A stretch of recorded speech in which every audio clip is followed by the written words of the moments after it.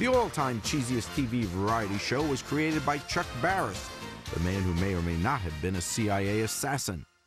The Gong Show consistently pushed the envelope of taste. It unnerved network censors. But in 1978, Barris went a little too far. Wacky Chuck decided to put two seductive freckle-faced teenagers on the air. The girls called themselves the Popsicle Twins. Their talent? They lick orange popsicles. All right!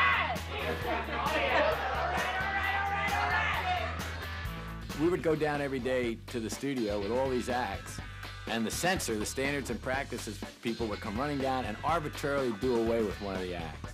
So I decided to come down with these really unairable acts. And, and then the censor would run down and get rid of them, and then we'd have the good ones left. And the Popsicle Twins were one of those, you know, unairable acts. And th- they didn't say anything. I think they were out getting coffee. The performance was so outrageous that network execs yanked the broadcast before it ever hit the West Coast.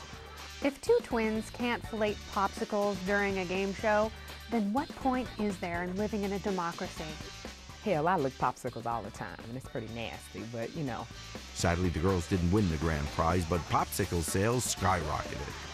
Apparently, there was some psychic pervert in the audience who knew exactly what one of the twins was doing before the popsicle even touched her lips. Because as she was putting it to her mouth before anything suggestive had happened, he was like, Yeah,